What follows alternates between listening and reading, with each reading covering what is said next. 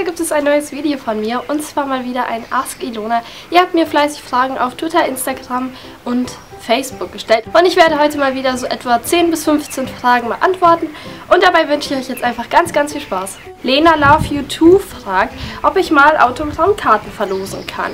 Ich habe mir wegen dem Videodate dieses Jahr schon überlegt, welche zu bestellen und zwar werde ich auf dem Videodate dieses Jahr auch sein, also an alle, die da sind, werden wir uns hoffentlich sehen und ein Foto machen können. Und jeder, der daran interessiert ist, kann dann auch eine Autogrammkarte bekommen und ich werde die auch zukünftig dann immer bei den Verlosungsgewinnern dazu packen, aber so einzeln werde ich die wahrscheinlich nicht verlosen, weil so eine Autogrammkarte von mir ist nichts Besonderes, wie ich jetzt finde. Also wenn, dann einfach immer nur bei den Gewinnen werde ich die immer dazulegen. Und ich würde mich auch sehr darüber freuen, wenn ihr mir mal in die Kommentare schreibt, wer von euch beim Video Day dieses Jahr dabei sein wird. Dann kann ich mich schon mal darauf vorbereiten, wen ich so alles sehen werde. Und ja, ich freue mich auch schon richtig auf den Video Day dieses Jahr, weil ich ja letztes Jahr nicht da war. Ich weiß auch nicht warum, aber dieses Jahr werde ich auf jeden Fall dabei sein. CRLY nun fragt, wenn du umsonst verreisen dürftest, wohin würdest du reisen und was würdest du dort unternehmen?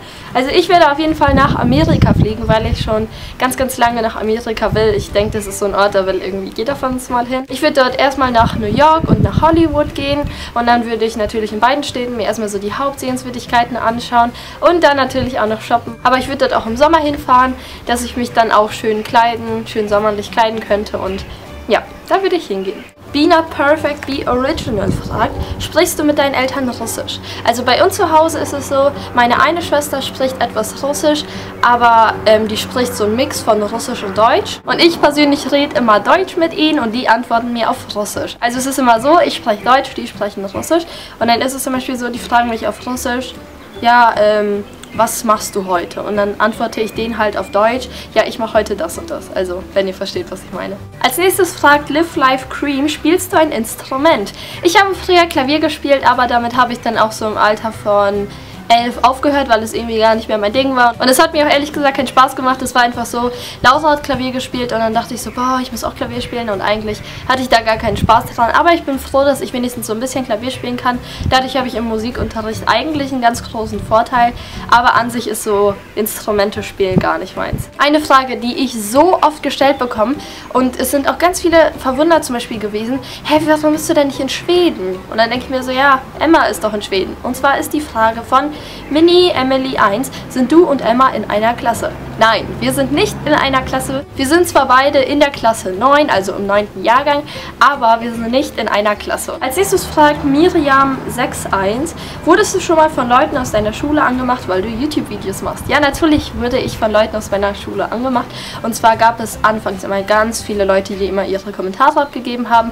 Mittlerweile ist es gar nicht mehr so, weil sie jetzt merken, ja, es ist egal, was ich sage. Sie wird eh ihr Ding machen. Und ich meine, ich denke schon, dass ich jetzt in diesen zwei Jahren, ja, das sind jetzt zwei Jahre, das ist echt krass, ich mache jetzt schon zwei Jahre YouTube. Es war vor, ich glaube, zwei Tagen war mein Zweijähriges. Ich habe es ganz vergessen, das irgendwie zu erwähnen. Weil irgendwie in diesen Tagen denke ich immer nur noch an meinen Geburtstag, dann gehe ich, yeah, ich wäre 15.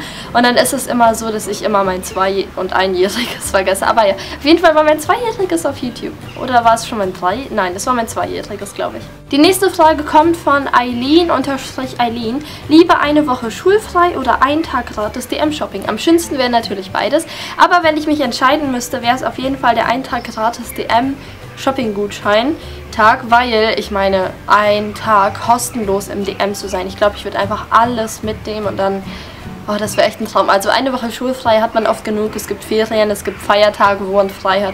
Und das ist jetzt gar nicht so unbedingt nötig, wie ich finde. Deswegen auf jeden Fall ein Tag gratis DM, das wäre so ein Traum. Die nächste Frage kommt auch von Eileen-Eileen. Und zwar ist es die Frage, hatte ich schon mal einen Fan außerhalb Deutschlands erkannt? Eigentlich denkt man sich so, boah, im Ausland, da kennt mich eh keiner. Aber ich wurde schon in zwei ausländischen Ländern erkannt. Und zwar in England von einer Schulklasse.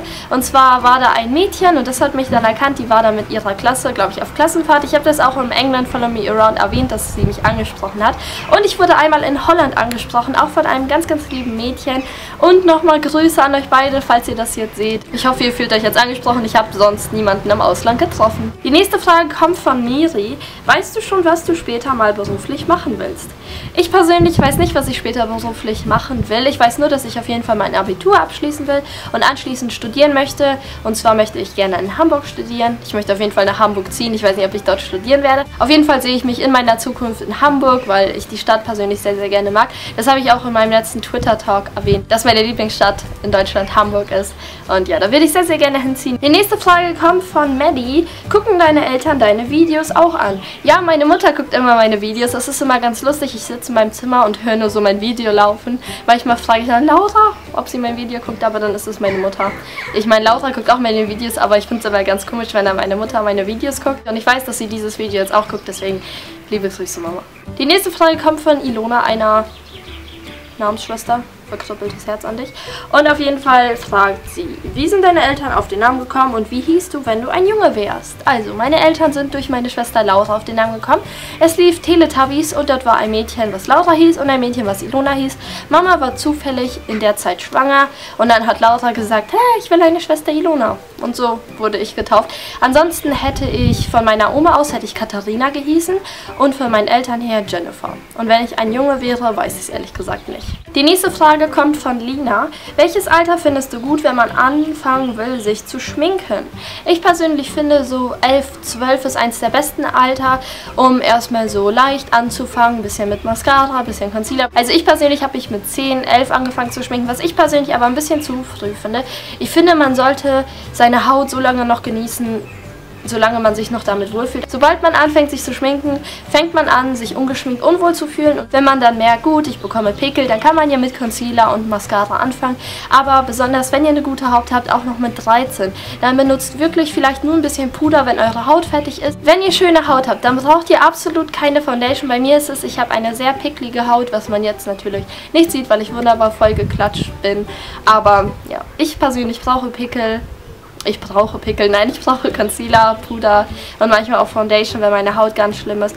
Aber zu der Catrice Photo Finish Foundation muss ich sagen, ich kann sie euch nicht empfehlen. Ich habe jetzt aufgehört, die Catrice Photo Finish zu benutzen und meine Haut ist viel besser geworden. Deswegen muss ich jetzt leider eine Kaufempfehlung geben. Aber vielleicht ist da draußen ja irgendwer, der sie schon nachgekauft hat und sie vielleicht bei der Person ganz toll ist. Dann könnt ihr mir das mal schreiben.